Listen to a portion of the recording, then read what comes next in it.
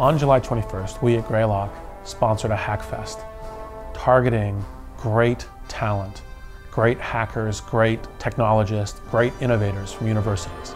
If you have the right kinds of talent with ideas, empowered the right way, you can begin to create something very, very fast. A lot of us are veteran, you know, hackathon members. One of our kids, Richie, uh, actually has won an award at every hackathon he's been to so far. I haven't seen a single team where I've said, what are they doing here? Everybody has impressed me, and they all have a unique angle. I'm Dylan Fields, and I'm working with an awesome team from Brown, and we're working on Wiki Racers, which is basically we're visualizing the Wikipedia game. Social games right now don't really focus on the real world. What we're trying to do is build this game called Assassins.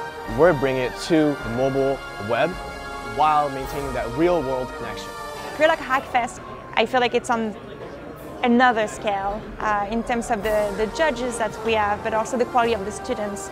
Part of how successful projects are built is by networks and teams around it. So one of the things we did with the Hackfest was not just a, a focus on the final judges, but on the whole process through. Then we brought in also the, the first line of judges were executives from killer companies who then would work with the, the students and their projects to say, okay, here's the things you should be thinking about, here's the things that are working or not working, here's how you could learn from what you were doing this weekend. So it's not just about building a hack for those 24 hours, it's really about making the right connections and then really pushing the ideas to the next level.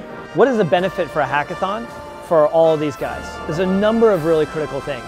One, they're learning to work with teams that they create to come together. They're coming from all sorts of different backgrounds, different educational places, different parts even around the world. So when you bring people together, what they're doing here is they're creating relationships that are going to keep moving on beyond just their time right here. Uh, the great thing about software is that unlike a lot of other disciplines, you don't really learn software by talking about it or through coursework. You learn about it by doing it. Uh, and that's why we all get together for events like this, is because when we do amazing things together in these kind of conditions, we not only learn a lot ourselves, but we learn from each other what's possible. Uh, we did something called Dance. It's a multiplayer online um, dance game using computer vision. And what's cool about this is that it shows like one application of um, computer vision using just the browser.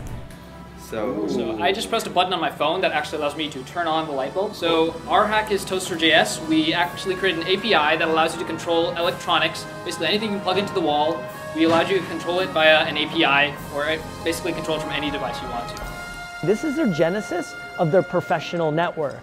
And the more and more of these that they participate in, these are the connections they're going to learn to rely upon because they're doing battle. They're training themselves to develop and build something and show it off to win. Greylock Hackfest 1 was massively successful. Great for the students, great for the companies, great for projects, great for innovation.